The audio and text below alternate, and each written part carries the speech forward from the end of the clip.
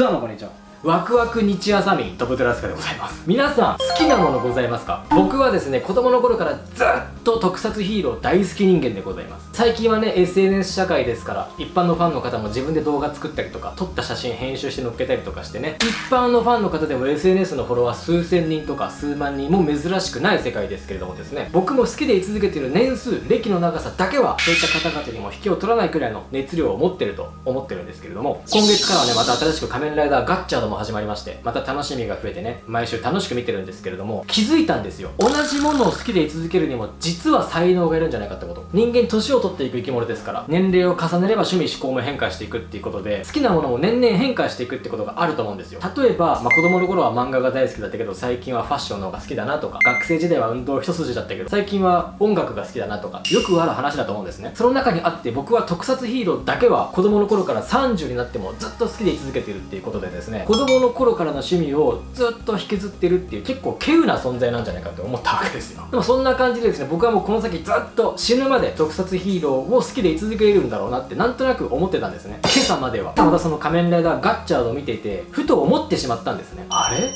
こんなもんやったっけ？これはねなかなかどうして初めての感覚でもちろんこれは僕が慣れ親しんでいた平成仮面ライダーそれも初期の頃から現在の令和ライダーということで作風が変わったっていうこともあると思うんですよ、まあ、特に僕が好きなのはクーガから始まって響きぐらいまでの本当に2000年代初頭の仮面ライダーが好きであの辺ったら結構日常パートが普通の一般ドラマのような感じでリアルな作風だったんですよ。近所の日常のドラマみたいな感じのパートがあってですね。で舞台も本当に実際の東京都内が舞台みたいな感じですごくリアリティがあってふとすれば隣で仮面ライダーが戦っててもおかしくないっていうような現実感を共有した特撮ドラマだったんですよ。それがまあ2010年以降平成2期から令和にかけては結構架空の街が舞台であってでも明確な悪役がいてで仮面ライダーとのバトルが主体であってっていうそんな感じに作風も変化してきてですね。感覚としてはあの普通の地上波の一般ドラマでたまにあるじゃないですか。作中劇みたいな感じで特撮。子供向けヒーロー番組がドラマの中で流れてるみたいな。あれを見てる感覚に近いんですよね。ああいったものっていうのは、まあ、普通の一般ドラマの制作陣がいわゆる小道具として作ってるものなので分かりやすく露骨にダサいんですよ。これは子供が見る番組ですよっていう小道具でもって作られてるものなのですごく誇張された特撮ヒーローというあれを見てるっていう感じが最近の仮面ライダーからはしてしまうんですよね。なんか悪役の悪役前とした衣装とかお芝居とかさ。で結構分かりやすいモチーフの仮面ライダーのデザインなんかを見てるとうん。っていう感じになってしまう。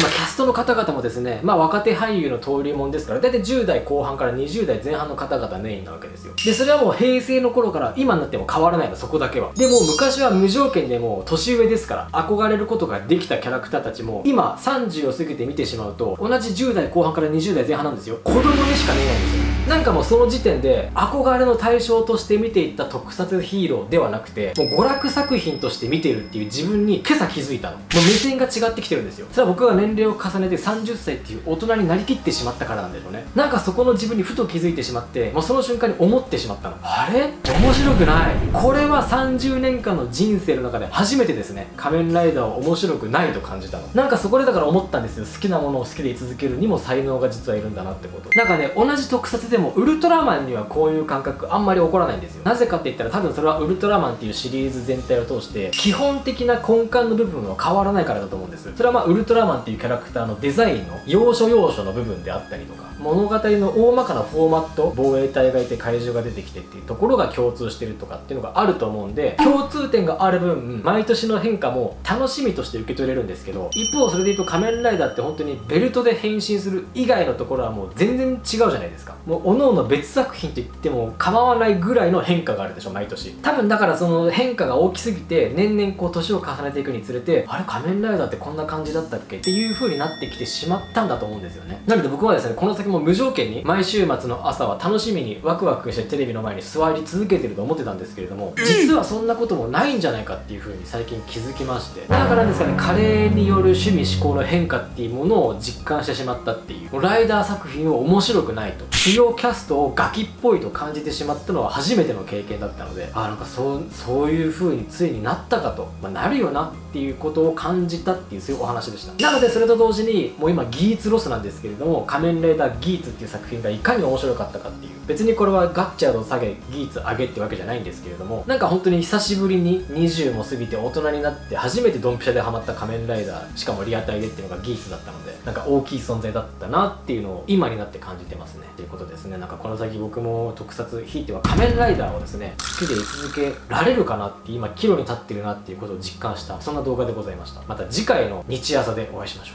う。バイバイ。